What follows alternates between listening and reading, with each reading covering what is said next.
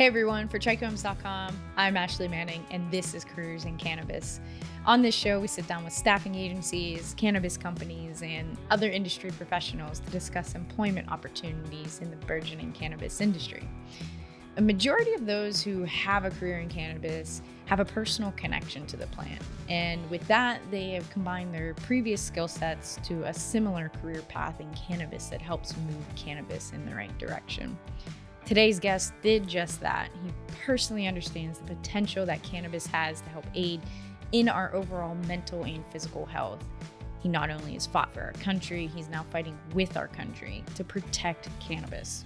He's invested in several cannabis companies, wore many hats in the decade that he has had his career in cannabis. And now he's providing end to end cannabis business consulting services for investors, innovators, and brands needing to sustainably scale.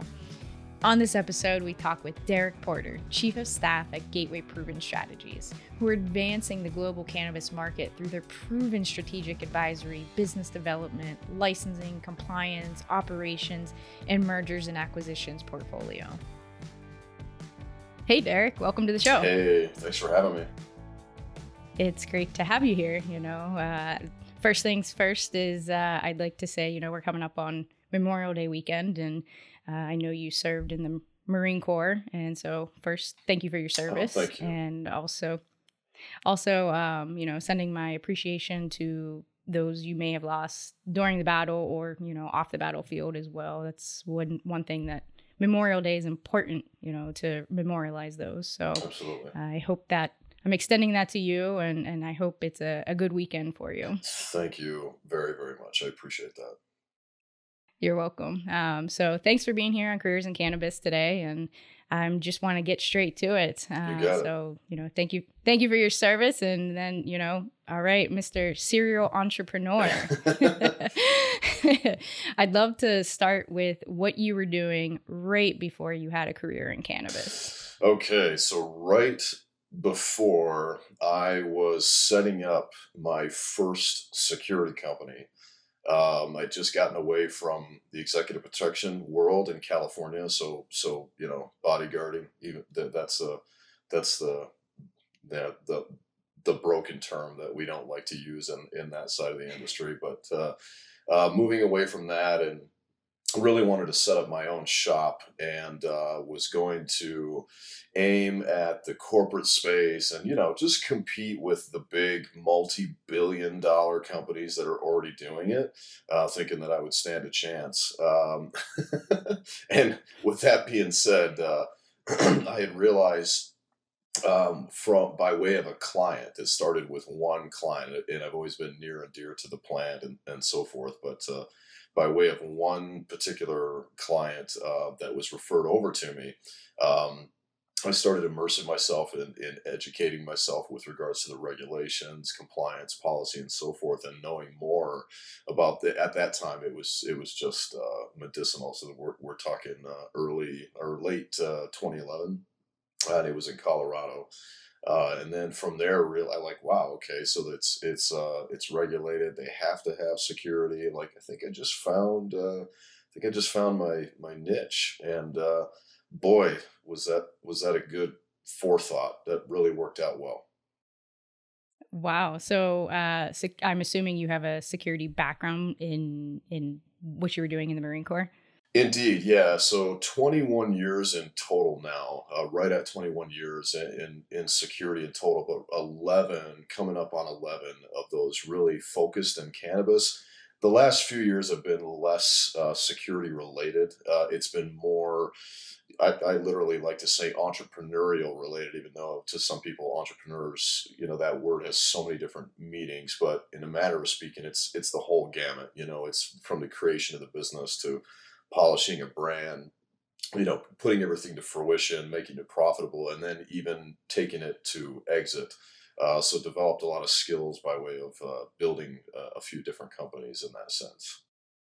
And specific only to security then? Uh, so it, it just it just started with security. I, I, I realized that was really my trade craft. Um, yes, from uh, special operations unit in the Marines to a private military to do an executive protection, uh, dozens of different certifications in security and then ultimately going as far as formal education, going all the way to getting a master's in security.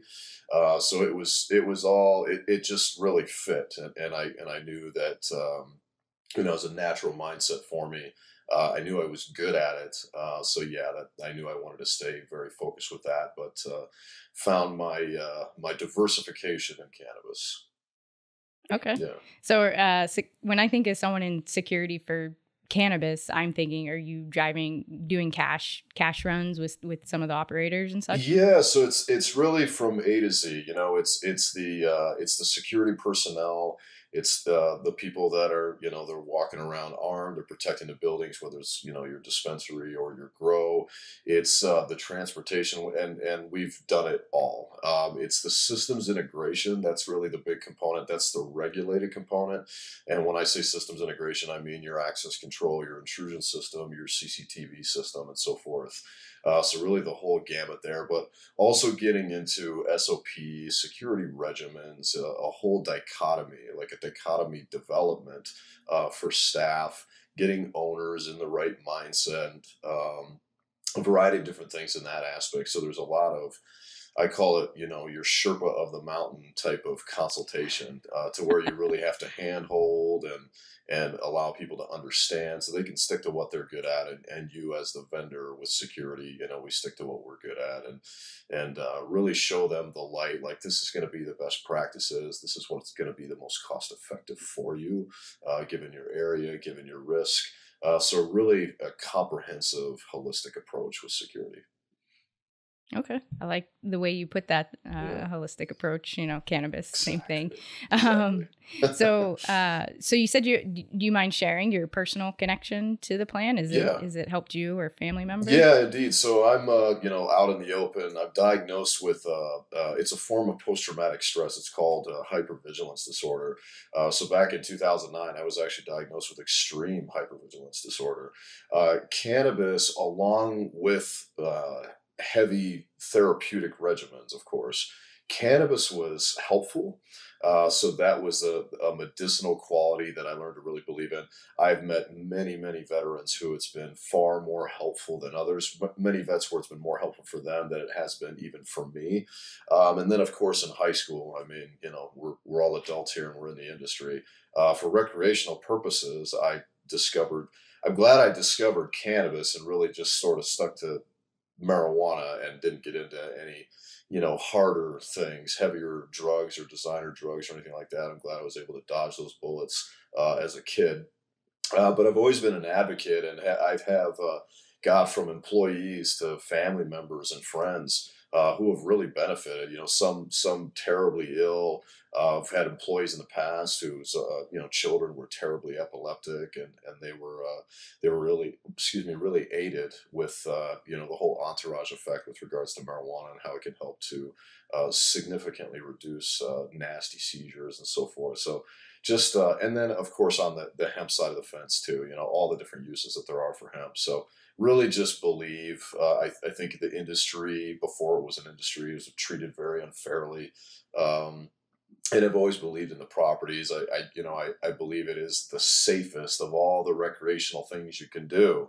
Uh, you know, look at look at alcohol, look at all the other drugs, uh, and then look at even on the, the medicinal side of things. Uh, you know, big pharma with the different synthetics uh, that you know in pill form that they produce that are terribly toxic for you.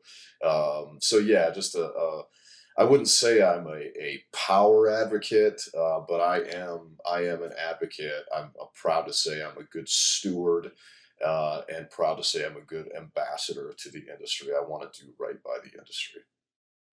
That's great. And you're protecting the industry and keeping it safe. So Indeed, yeah. until we get That's my these, way of doing it. especially until we, especially until we get banking figured out, uh, it's gonna, you know, we're really gonna need your services. Right, I know. And you just on your on your last gig, I was just listening to you. You were talking a lot about banking. Uh, yeah, I was I was, I was almost wanting to to really to really chime in. God, we could have a whole other episode here on on just the banking piece with regards to security. Yes, absolutely. And a lot of great things came from from that event. A lot of good insights and takebacks. So Right. I look forward to doing them, doing them some more. You know, bringing those two two communities together. So, Yeah. um, so So you've covered some of the things that you've done in the industry that got you to where you are, you know, leading up to a career in cannabis. So what are you currently working on? Uh, you have plenty of lots of hats and lots yeah. of titles, and so what what's going on with you now? Absolutely, yeah. So very uh, fortunate to be diversified in a lot of uh, uh, different organizations. Uh, you know that that whole, as you thank you for the for the the title. It was never self proclaimed with being a serial entrepreneur. Uh, so having my my some investments, in, you know, hemp operations to Wisconsin to um, investments into veteran owned CBD brands, but now really my my baby baby. I'm very passive in those other investments. My baby now is uh, Gateway Proven Strategies, uh, which is a comprehensive, premier, global uh, cannabis consulting firm. Uh, which which is a, a, mouthful when you think about it. But in short, it is an ecosystem with regards to a network that pushes internationally uh, to to really bridge the gaps with anyone from uh, you know your plant touching operations to your ancillary vendors and so forth trying to help msos continue to be msos uh, trying to help people uh, uh, reach overseas trying to aid in steering uh, investments the domestic dollars that are going foreign foreign dollars that are wanting to penetrate domestically so on and so forth um, and and still at the same token being good stewards, good ambassadors to the industry, pushing environmental social governance, uh, corporate social responsibility, so on and so forth. Uh, trying to put our best foot forward there, and so far so good. We've had a couple of hiccups with COVID, not unlike uh, everyone, but the fact that we were still growing, uh, albeit slow for a little bit there, the fact that we were still growing, gaining more clientele, more investors uh, I'm I'm so so very proud and and continue to be excited. We've got some great things in the hopper right now. Oh, very exciting! What is your role there? So I'm the uh, chief of staff. So oh, you're the is, boss. Well, I, I report to I, I'm a partner and an investor. I report to to two uh, individuals and to two individuals only, um, and that's uh, Bob Hoban, who is the the president co-founder, and then our CEO Charles Feldman, who is also a co-founder. Um, I it was not my brainchild. I definitely climbed aboard, and and I'm helping to raise the baby for sure, um, and and really immerse have really immersed myself in it. Uh, but uh, so they make a lot of decisions, and they're you know they're serial entrepreneurs themselves. They they have uh, they have a lot of irons at different fires as well. Um, it's I would say we have a good core team. Um, I share a lot of hats. I also wear many of those hats, some of them most of the time. Uh, but I have great cohorts um, to where you know it's it, it's it's it's a fabulously diversified team uh, to where we attack different things. We all have our different strengths and so forth. Uh, however, you could say that I'm third in charge. Let's just put it that way. okay, boss. day, to day boss, but at the end of the day, you know, if, if they wanted to, we usually always see eye to eye. But if they wanted to, uh, my senior partners could veto me and just say, Derek, we're going to do it this way. well, it sounds like a good business venture. You know, you get a group of serial entrepreneurs who all have experience of different, you know, parts of the supply chain in cannabis and yeah. bring them together to move this industry forward. It makes perfect sense as to why you guys all work together. So, Certainly. Gateway Proven Strategies, uh, it's been around for a year, two years now. We're coming up. Official launch. Yeah. So, I, you know, on paper, it's been almost two years. However, I would say, you know, official launch, if you will, what I like to call the ramp up of any startup, which to me, in my mind, it's always 36 months for any startup uh, ramp up. Uh, so you got your three year mark. We're literally like right at month 17 of a 36 month ramp up. So we're, we're still, we're, we're, we're barely entering that, that toddler phase, kind of, sort of. Gotcha. Yeah. Well, I hope, I look forward to seeing the, the growth there. Yeah. Um, is Gateway Proven Strategies hiring at all? We sure are, yeah. So we're we're always hiring uh, project based. That's a good question. So we're we're project based by way of uh, what I like to say the totality of the circumstances per client and per client engagement. Um, there are times where we get uh, referrals that come in, and sometimes that referral says, "Well, we've worked with so and so for years, and they referred you, so they need to come come with the program or come with the project. We've done that many times, and we find a way to adapt and adopt um, but we also are hiring uh, some individuals internally. We need some more administration logistics help. Uh, we're onboarding a fractional CFO right now. Uh, we're moving forward with uh, an administrative and controller uh, individual. And then soon enough, as we continue to take on more projects, we'll, we'll need more project leads or, or project managers. So uh, right now, again, I know we're open about the positions right now. Um, I believe you can find them on LinkedIn at the moment. Uh, but they do, you know, once they hop up, they hop off. And a lot of it is referral based, network based. You know, we always reach out uh, to our network first before we put it on blast that we're hunting. Yeah. yeah. What would be your ideal candidate, you know, for a, for a role with you guys?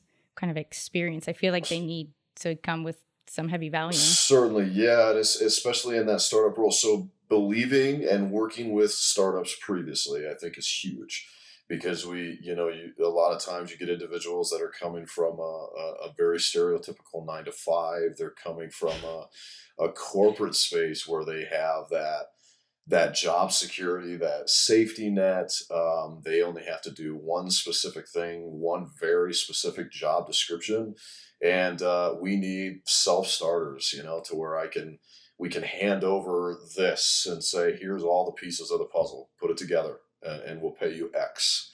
Um, or or find a way. You know, there's a few pieces missing. They're over there somewhere. You'll ha- you'll have to find them. Uh, they're in the safe. Yeah, yeah, they're in the safe. So you gotta you gotta crack the safe. You gotta find a way. You know, you have to tackle through me. Um, so so individuals, I guess a, a, shorter way to say it are individuals that can wear a lot of hats uh, and that believe in uh, you know that those young startup values. Also, too, I should have said this first. Individuals that are experience oriented with cannabis. They, you know, I always say you either know the industry or you don't, uh, and you have to find your way in somewhere. I, I believe that as well, but uh, we're it, it's a little trickier for us in, in the sophistication and the dynamics of how we deal in the consultancy area of cannabis to take on um, individuals that have zero experience. So we definitely need individuals that have operational experience in cannabis. Absolutely makes sense. Yeah. That's uh you guys, you know, you get a project that comes in, you need to be able to hand it to them, like you said. And Certainly. they need to know how to execute or at least know how to navigate the waters in order to execute. Mm-hmm. Absolutely. So makes perfect sense. So um they're listed on LinkedIn, those positions. Mm-hmm. Um are they able to reach out to you uh personally or is there a generic general email? There there is and and everything uh is combed through, nothing nothing slips past. Um I used to I used to throw out, I stopped doing this. I used to throw out my work email, but I'm finally at a point where I get inundated just enough uh, to where if it's going out to the masses, especially for something job related, which which I don't handle that stuff. I'm fortunate enough to where I, I don't have to do that. Um, no, so instead of my email address, uh, definitely very simple uh, info at, so I N F O uh, at gps.global. Uh, everything uh, that goes inbound uh, through that technical contact will, will always be viewed, any inquiry. Awesome. I guarantee it. I'm very familiar with the team over there, and they are yeah. top notch on par with making sure they respond. Thank Otherwise, you. you lose a client. yeah, no kidding, right? You lose a, you so, lose a lead. Absolutely. And that that lead could be a, a very big, important part revenue generator to to getting a startup going. That, that so be, can't have that. Yeah, that could be the game changer lead. You never know.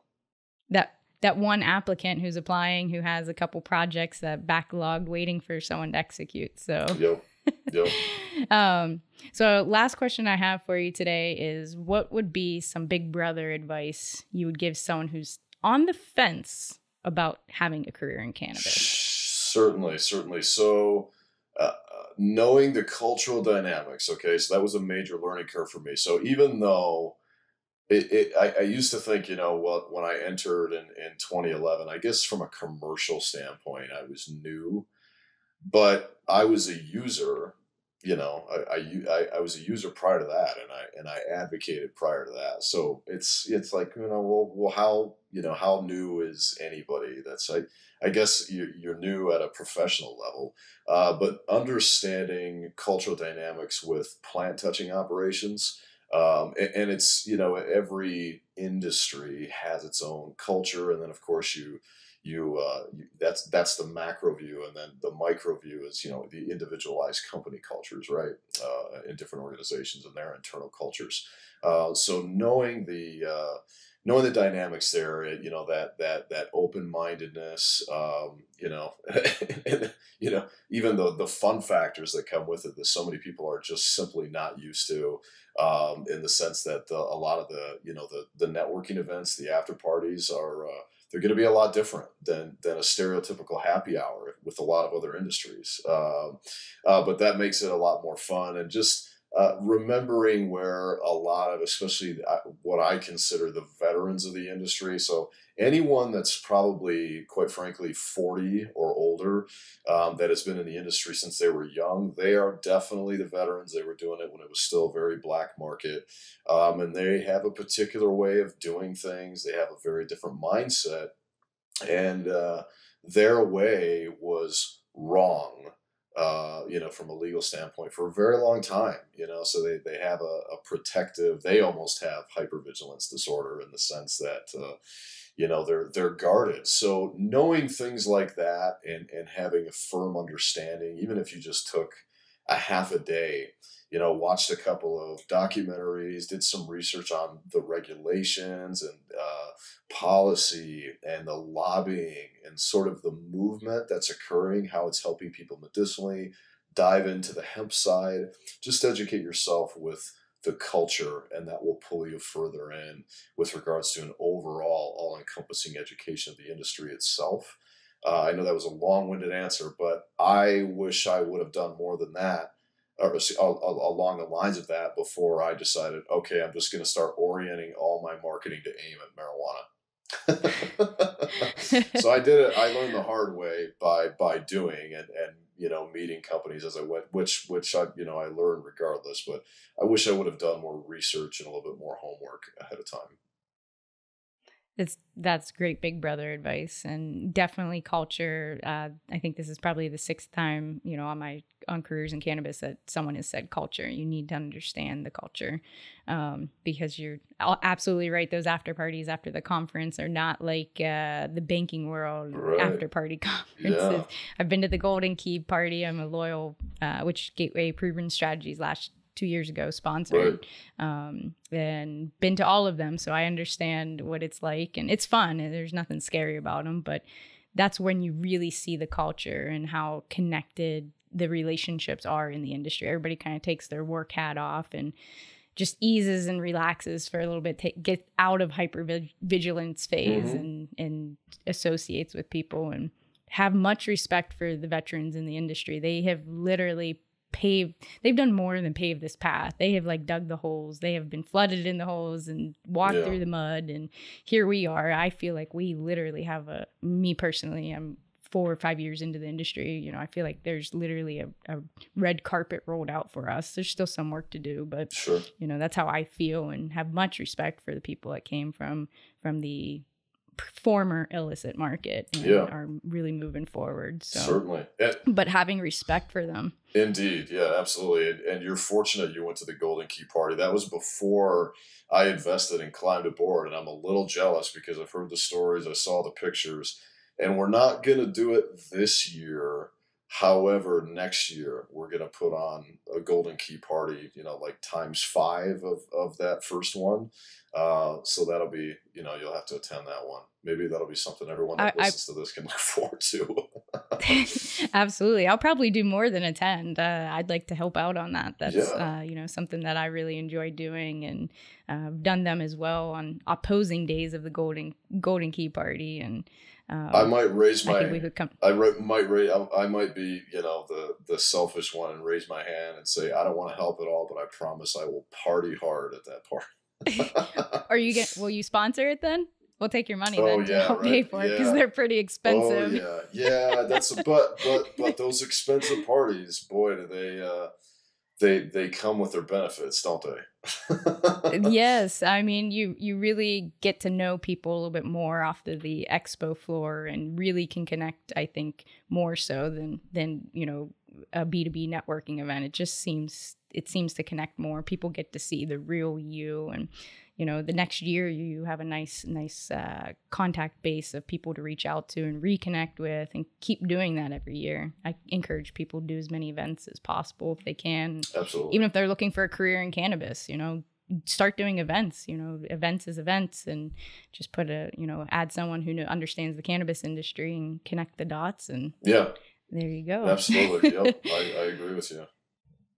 Well, I appreciate your time today, Derek. Yeah. It's been good to hear your story. I've been intrigued to know what your story was, and uh, that's why I reached out to see if you would be interested in sharing that with me today. Absolutely. Ashley, thank you so much. You're always a rock star. It's always awesome to talk to you. Thank you for thinking of me and having me on your show. I appreciate it. You're welcome, Derek, and thanks for to Gateway Proven Strategies for off, giving your time today to me as well. So, absolutely, uh, much love, and I hope you have have a great Memorial Day weekend, and it's a, a, a happy one for you. To you as well. Thank you again. Awesome. All right, thank you, Derek. Hey, thanks for watching our channel. Click here to watch another episode of Careers in Cannabis and more great shows and interviews. To find more cannabis industry reporting, insider stories, and to stay up to date on the latest trends, make sure you subscribe and keep up to date with the Trichomes community app. Download it now, and we'll see you there.